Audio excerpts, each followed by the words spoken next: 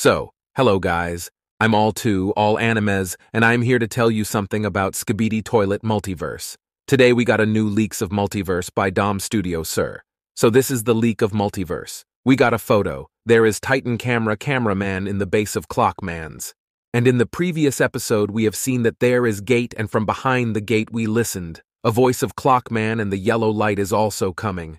So my prediction is that upgraded Titan Clockman is coming and we gonna see the clash of titans between Clock and Drillman. So this is it. Thanks for watching and don't forget to subscribe channel and like the video, and also stay tuned for it.